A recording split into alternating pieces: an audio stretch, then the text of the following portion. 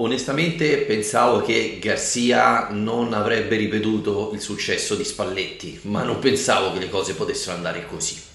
Ciao a tutti da Vittorio, benvenuti a Calcio d'Angolo dove parliamo di calcio ogni giorno. Quindi se sei un appassionato di calcio e in particolare la Serie A, iscriviti al canale e clicca la campanella per rimanere sempre aggiornato. La situazione a Napoli sta degenerando e sta degenerando velocissimamente, una cosa che onestamente non mi aspettavo ho sempre detto e ho fatto video già in passato dicendo che la scelta di Rudy Garcia mi sembrava sbagliata, mi sembrava non la scelta migliore per il Napoli per provare a bissare lo scudetto dell'anno precedente. È vero, Garcia gioca con 4-3, stesso modulo di Luciano Spalletti, ma le interpretazioni sono completamente differenti fra i due allenatori. Uno è un allenatore aggressivo che vuole avere possesso palla e attaccare, l'altro è un allenatore decisamente più difensivista che ama non prendere gol e provare a segnare in contropiede. E Garzia onestamente ereditava una situazione molto complicata, una squadra che vince lo scudetto, in particolare a Napoli dove non succede proprio tutti i giorni, c'era grande pericolo di una squadra che si sentisse appagata, una squadra che non riuscisse a giocare con la stessa cattiveria degli anni precedenti, dell'anno in cui ha vinto lo scudetto. Ma per assurdo non è questo il problema principale di questo Napoli. Non ho l'impressione che il Napoli si sia seduto, ho l'impressione che Garcia abbia voluto cambiare il Napoli e il risultato sia questo, ovvero deludente. Il Napoli è una squadra costruita, secondo me, per Luciano Spalletti, per un calcio offensivo, per un possesso palla e per provare a dominare la partita. Questo Napoli non è, secondo me, strutturato per Rudy Garcia, che invece vuole una difesa bassa, una difesa che non conceda niente e una squadra veloce a ripartire e prendere la squadra avversaria in contropiede. Questo non è il Napoli, almeno questo non è il Napoli di Spalletti poteva essere il Napoli di Benitez o qualche altro tipo di Napoli, ma questi giocatori hanno caratteristiche ben differenti da quelle che voleva Rudy Garcia. Ma non solo, perché io dicevo che Rudy Garcia non era un grande allenatore, ma poteva secondo me risultare vincente se fosse riuscito a motivare il gruppo, perché una delle qualità di Rudy Garcia è quello di motivare la squadra ce l'abbiamo visto alla Roma, Roma distrutta, Garzia riuscì a motivare il gruppo e tirare fuori, secondo me, qualcosa di più di quanto potesse fare quella squadra. Ecco. E invece mi sembra che Rudy Garcia sta fallendo anche da quel punto di vista.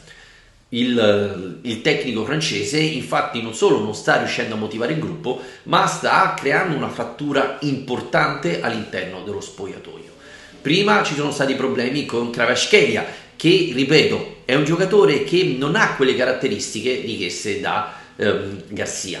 E la rottura con Kravaschelia sembra importante, non è la prima volta che il Giorgiano manda a quel paese Garcia, i due non si trovano e si vede sia in campo che fuori, ma contro Bologna c'è stata anche la rottura importante contro Osimen. Osimen, se vogliamo, leader di questa squadra, non solo il bomber, ma anche il leader che sta trovando tante difficoltà con Garcia.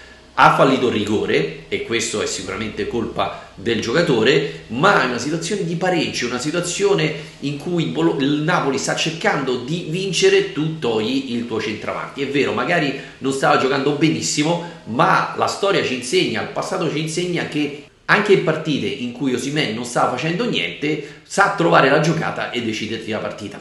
Esempio, Napoli-Roma, Napoli che stava facendo difficoltà, Osimen che aveva fatto poco niente, un pallone, un gol pazzesco e ti decide la partita nel finale. Sono, questi sono i campioni, quelli che sanno deciderti la partita con una giocata anche in partite dove non sta facendo poco o niente. E quindi togliere Osimen, soprattutto per mettere dentro Simeone, che è sicuramente un giocatore interessante, ma è un giocatore che non segna tanto, un giocatore che ovviamente non è allo stesso livello di Osimen. Ecco, Garcia ha detto tanta qualità in panchina, sì, ma non è che Simeone abbia dimostrato di essere a livello di Osimen non, in una situazione in cui non stai vincendo e stai cercando di vincere, probabilmente non togli Osimen per mettere Simeone, al massimo cambi, ed è quello che chiedeva Osimen, ovvero metti dentro Simeone e giochi con due punte. Anziché giocare con il tridente con due esterni larghi, cambi il tridente e giochi con due punte centrali, due centravanti, Osimen e Simeone, così occupi l'aria e hai più chance di segnare. Ecco, secondo me in quel caso Garcia sbaglia sia dal punto di vista dello spogliatoio, perché togli il tuo leader che infatti si arrabbia e adesso dovrai gestire questa seccatura, e dal punto di vista tattico, perché secondo me con il Bologna che si chiude mettevi in altra punta un altro centravanti, hai molte più chance di segnare.